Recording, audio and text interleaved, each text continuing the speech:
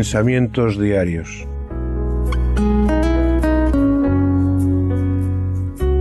Sencillas pero profundas reflexiones para cada día de nuestras vidas. Meditaciones de la palabra de Dios nacidas de un corazón agradecido por su gracia y misericordia. Pensamientos diarios.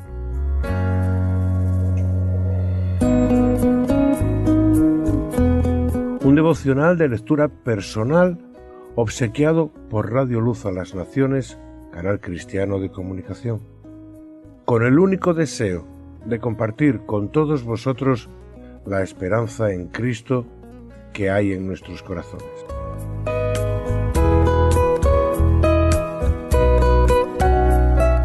No juzguéis y no seréis juzgados.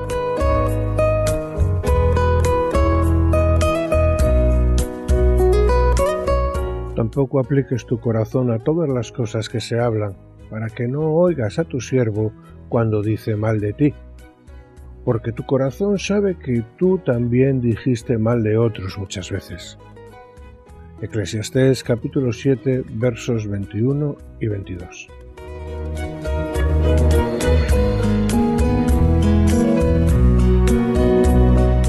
Muchas cosas que de cada uno de nosotros se han dicho nos han dejado huella. Sin embargo, eso es algo de lo que nosotros tampoco estamos limpios.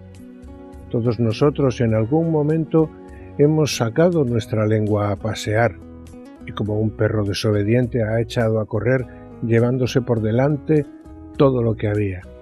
Y luego, cuando hemos intentado volver a poner todo en su sitio, algunas de las cosas ya estaban rotas y ya no había más remedio.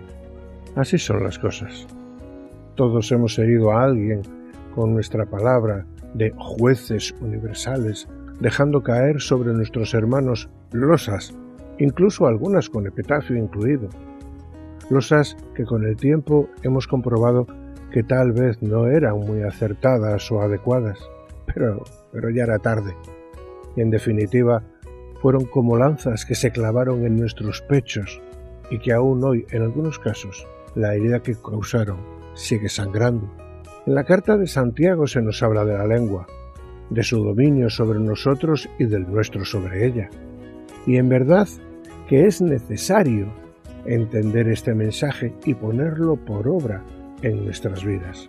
Si miramos primeramente a nuestras vidas y con honestidad pesamos nuestros corazones en la balanza de la misericordia, hallaremos nuestros corazones dignos, misericordiosos, limpios y justos?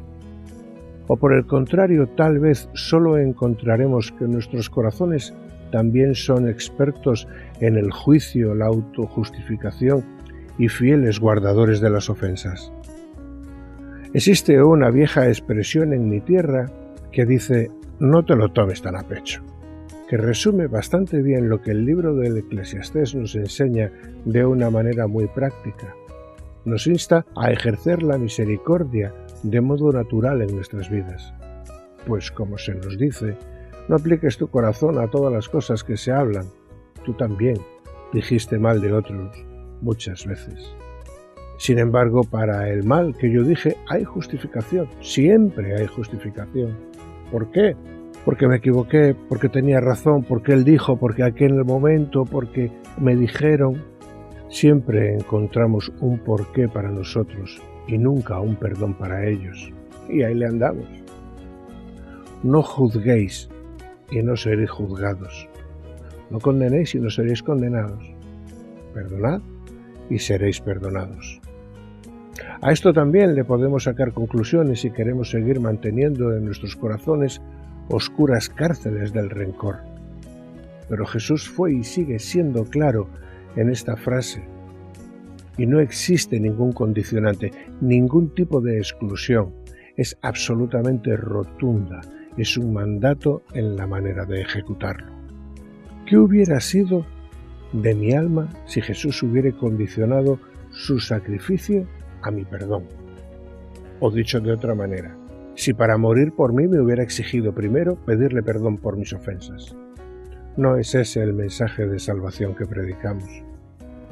pero a veces sí es el mensaje que vivimos, por lo que en ocasiones, solo en ocasiones, las personas con las que convivimos encuentran dificultades en comprender el verdadero significado del mensaje que sale de nuestras bocas. Ejercer la misericordia, perdonar, comprender que mi hermano se pudo equivocar conmigo, o aceptar que tal vez soy yo quien está equivocado, aunque esto sea poco menos que imposible. Y cuando estéis orando, perdonad si tenéis algo contra alguno, para que también vuestro Padre, que está en los cielos, os perdone a vosotros vuestras ofensas. Evangelio de Marcos, capítulo 11, verso 25. Pensamientos diarios. Meditando en la palabra de Dios. Santificad a Dios el Señor en vuestros corazones, y estad siempre preparados para presentar defensa con mansedumbre y reverencia ante todo el que demande razón de la esperanza que hay en vosotros.